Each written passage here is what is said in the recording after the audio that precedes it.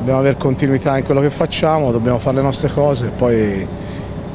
i tifosi sicuramente sono una componente importante, quello è un campo molto caldo, ci hanno vinto solo tre squadre, ma una di queste tre squadre siamo stati noi, quindi si tratta solo di giocare una partita di pallacanestro ben giocata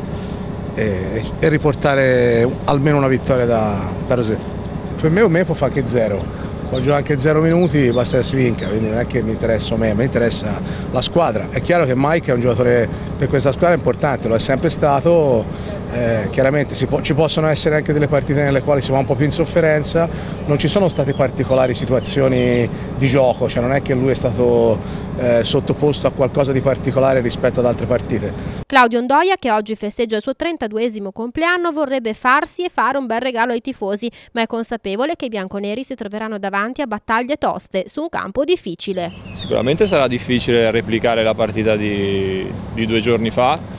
perché abbiamo fatto una partita veramente tosta, difficile, però eh, non mi interessa se la replichiamo o no, mi interessa solo la vittoria, se vinciamo va benissimo anche se non la replichiamo. Non abbiamo fatto nulla, è poco ma sicuro perché l'abbiamo visto anche nella serie precedente, eravamo 1-1 allo stesso punto, per cui eh, sappiamo quanto è stato difficile vincere due partite lì, eh, sarà altrettanto difficile in questa, anzi secondo me ancora più difficile,